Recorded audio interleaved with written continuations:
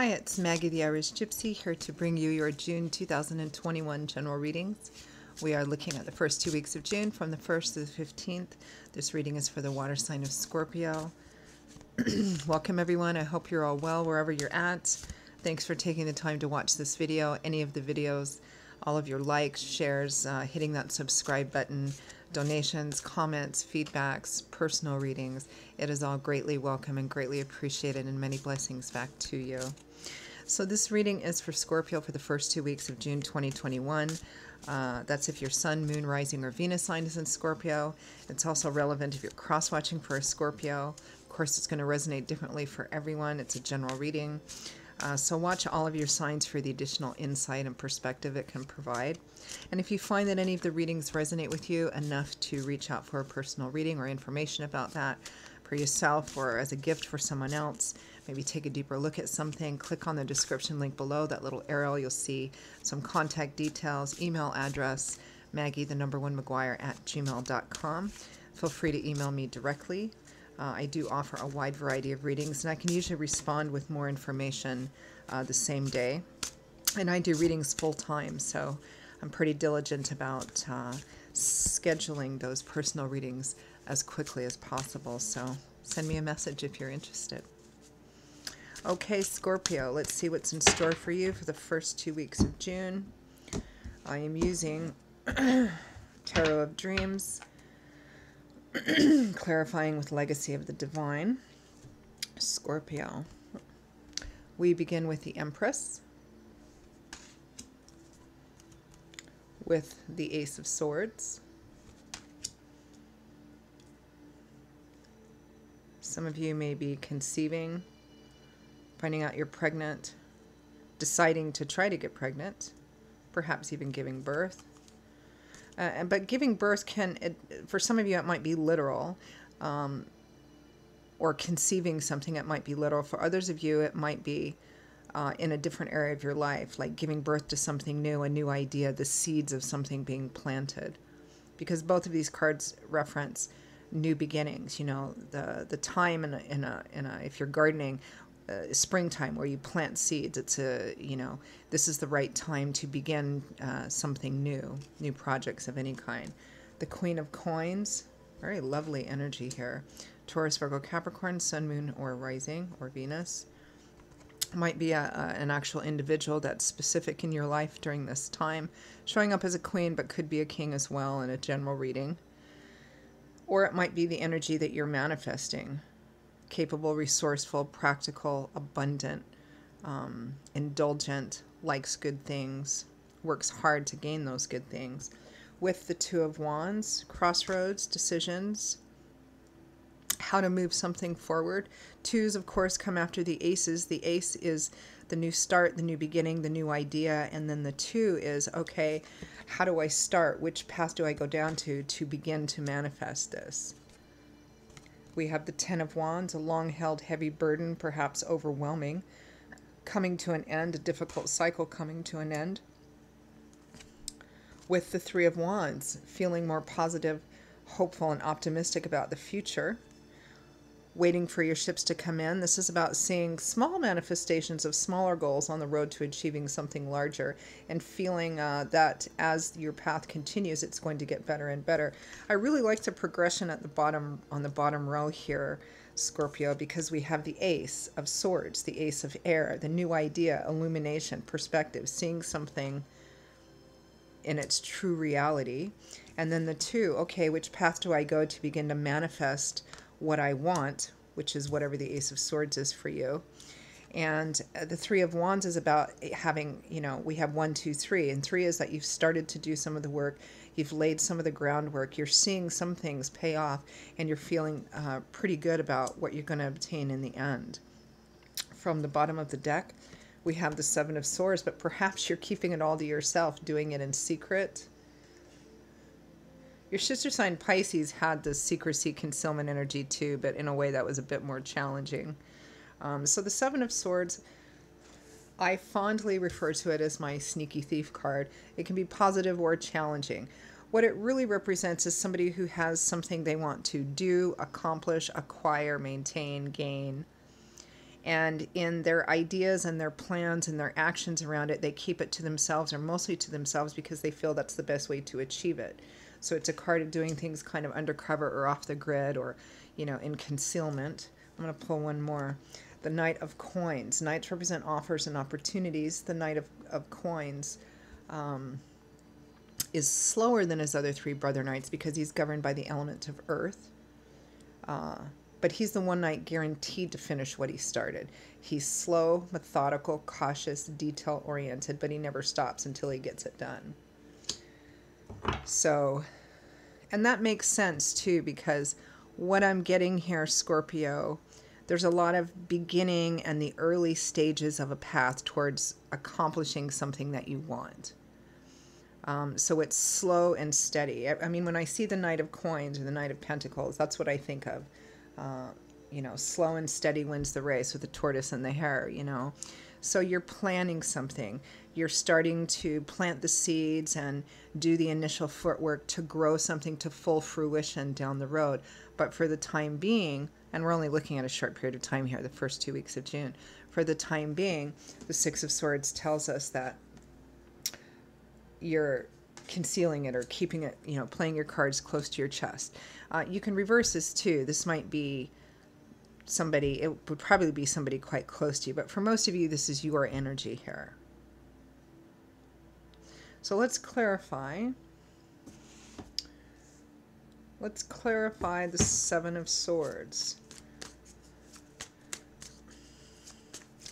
What what are you concealing? Why are you concealing? What's being concealed here? And for some of you, it might be someone close to you, in which case it's likely a romantic partner, boyfriend, girlfriend, husband, wife.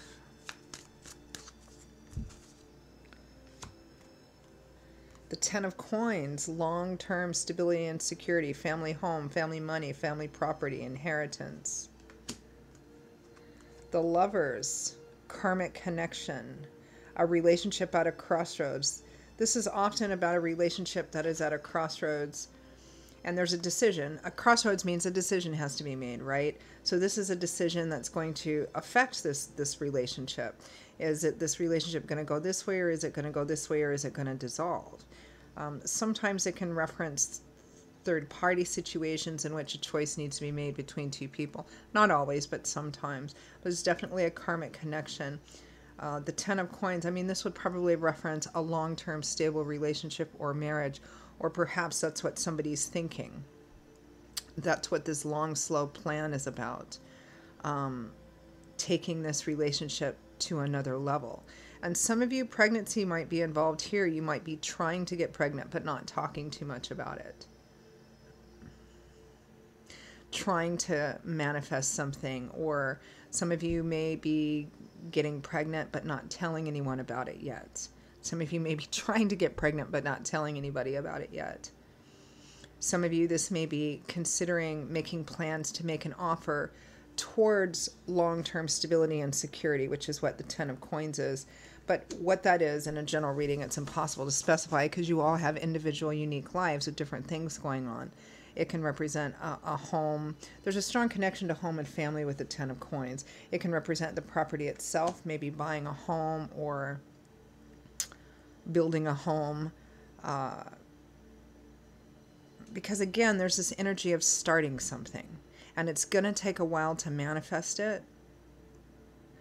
But the thing that you want to manifest in the end is whatever this Ten of Coins is for you long term security and stability. It might be financial and material, it might be emotional in terms of a relationship or getting married or anniversaries. Maybe you're planning something for an anniversary. I mean, it could be a variety of different things. But it, it this is in the we're in the planting seeds and, and planning stages still. Um, with the it's, it, but it's in regards to relationship there's a relationship central here so either what you're building is about the relationship itself and where it's going or something about your lives together for a long time to come.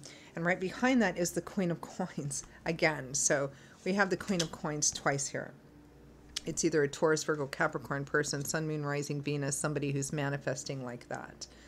Um, I mean, sometimes court cards can just represent energy that you're manifesting, but here, this is pretty much a relationship reading.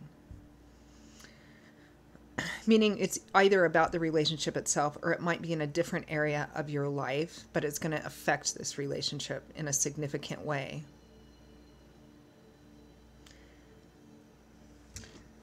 I'm going to clarify. So that's what you're keeping undercover, or that's what's being kept from you. Somebody's not talking about this right now. I'm going to clarify that Knight of Coins too. The slow and steady planner and enactor. Knight of Coins.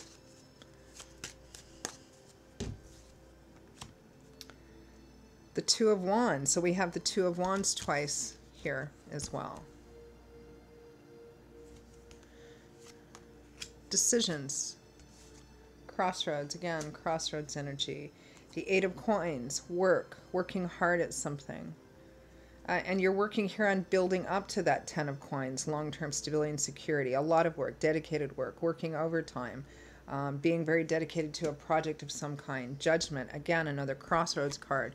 We have three cards here two twos and judgment.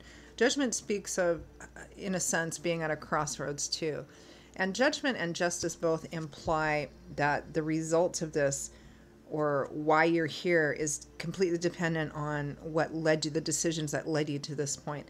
Judgment is a call to action, sometimes a second chance card, in which case the implication is you might want to choose differently than you did the first time.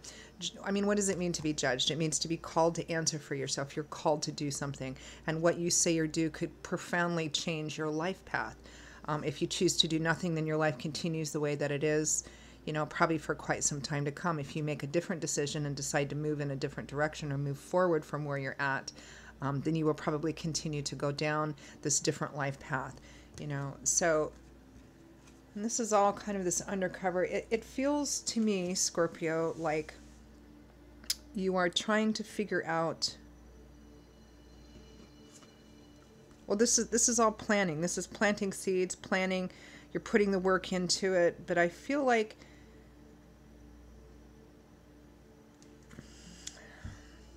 with all this crossroads choice decision i feel like you're wondering if now is the right time to start something um, or if now is the right time to come out with your plans um, if now is the right time perhaps to make this decision to move forward and to communicate with this other person about it.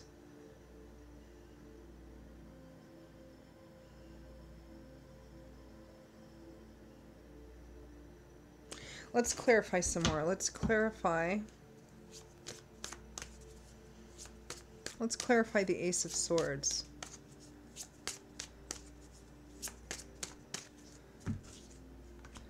Ace of Swords usually represents a new idea or an epiphany or seeing something in a brand new perspective, like for the reality of what it is. It's illumination here, kind of the light bulb going off over your head. We have the Page of Cups, and this is under the Empress. If this is about a, a romantic relationship, either you see this person as just really beautiful, lovely, fertile, abundant, sensual, feminine, or vice versa. Page of Cups, messages, flirting. Ace of Cups, emotional renewal, new love and romance. Another two, two of coins. The moon, undecided, it's unclear.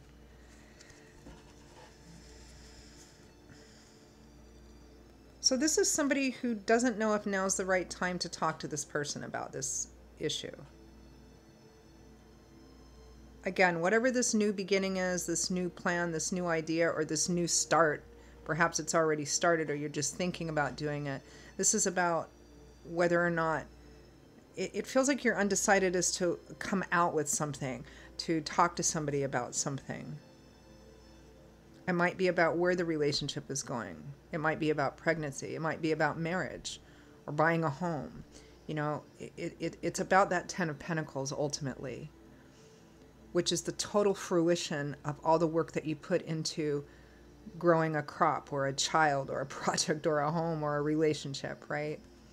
And it just feels like you're undecided as to whether or not this is something you should come out with because perhaps you're not sure if the other person is going to feel the same way or if they're going to be on board or what they're going to want, you know, how they're going to feel about this.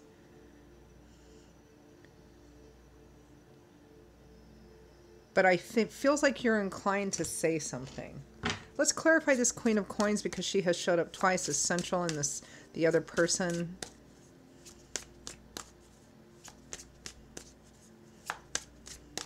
It might be some kind of renewal or reconciliation in an already existing connection or relationship.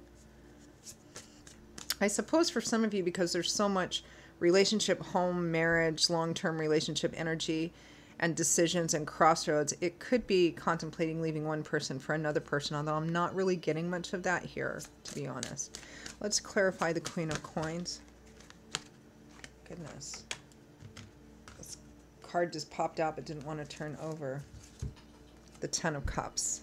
Yeah. You have the Ten of Cups, the Ten of Pentacles, the, the Lovers. I mean, this is like marriage. This is a relationship connection with this Queen of Coins, regardless of whether it's an earth sign or a female or not. This is like marriage, happy home, long term home, stable, you know, whatever your 10 of cups, your happily ever after white picket fences. That's either what you have with this individual, what you're perhaps thinking now is the time to move towards. Um, yeah.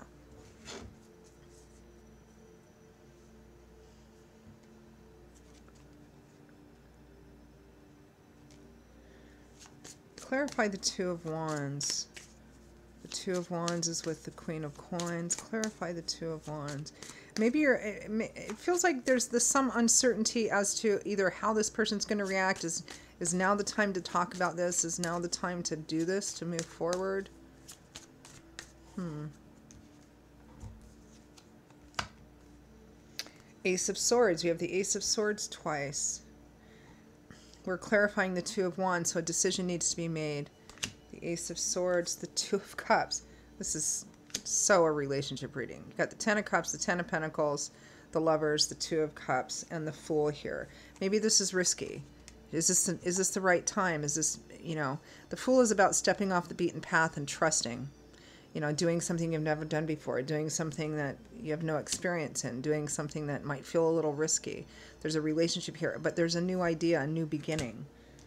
Is now the right time? Should we talk about this? Should I tell this person that? You know, there's all of this kind of here. Interesting reading, but it feels really hopeful and positive. Clarify Ten of Wands, an overwhelming cycle, but coming to an end.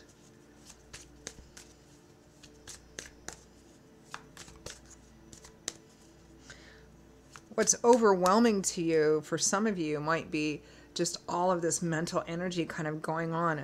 Is this the right thing? Is now the right time? Should I talk about this? Should I continue to keep it in? Should we? Might be the two of you together, you know, in some other area of your life. I think for some of you, what's overwhelming is like having this take up so much headspace. I mean, there's um, swords, wands, cups.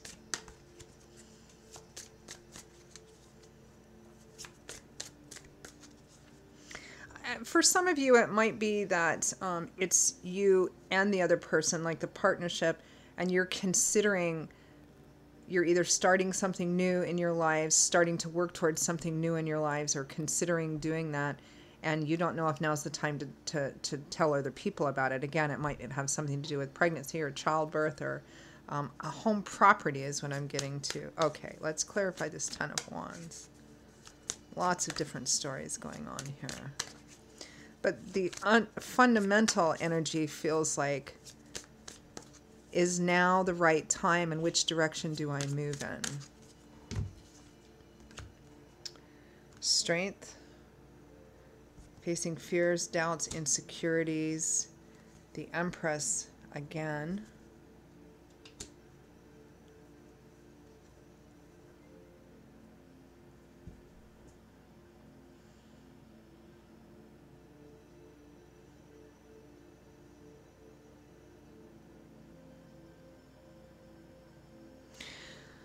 Some of you for whom this is a purely relationship issue, I'm feeling either you or the person, the one thing that's a challenge in moving through taking this relationship to the next level or pushing it further is letting go of past negative relationship experiences and having the strength to trust that this time won't be like that.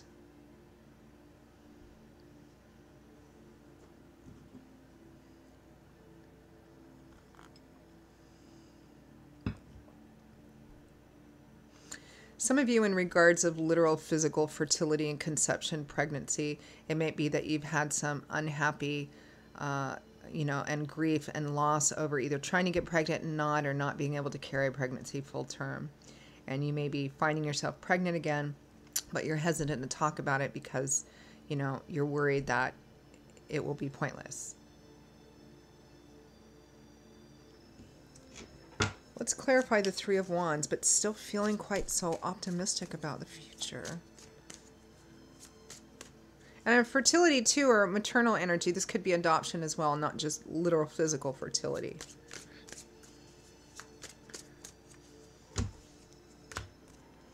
The Four of Wands, one of the happy home marriage cards.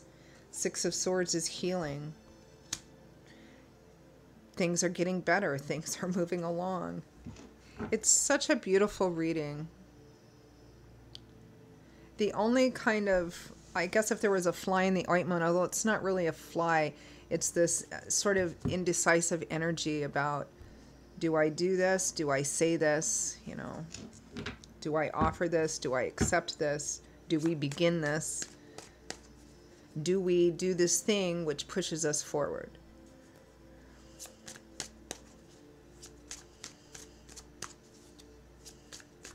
All right, any final messages?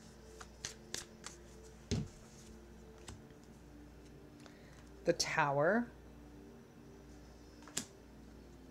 The Knight of Cups. So, whatever you're thinking of doing, saying, offering, think it might come out like a bolt of lightning, do it. The Ten of Wands again, it's time to bring this cycle to an end. Whatever whatever it has been, it's time for that has been to end so that you can move into a new phase. And here's the world card graduation, moving up to the next level. Yeah. Uh, so all of this two crossroads do I, don't I, should I, shouldn't I? You should. Just, just do it. Go out there, drop the bomb, do the thing. It's time to move on. 10 10 the world it's time to move on it's time to graduate it's time to move on to the next level it's time to move forward whatever the decision is about do I stay here or do I move something forward? Do I talk about it, which is part of moving it forward? It's time to move forward. Okay? So, Scorpio, those are your messages for the first two weeks of June. I hope that you found them helpful, useful. If you did, you want to reach out for a personal reading, take a deeper look at something for yourself or maybe as a gift for someone else uh, email me directly, Maggie, the number one McGuire at gmail.com. I'd be delighted to hear from you and to work with you. You can also get that uh, contact information by clicking on the description link below. I will see you all in a couple of weeks for the June mid month readings. Until then, stay safe and well, be blessed. Hope to see you back here again soon. Bye bye.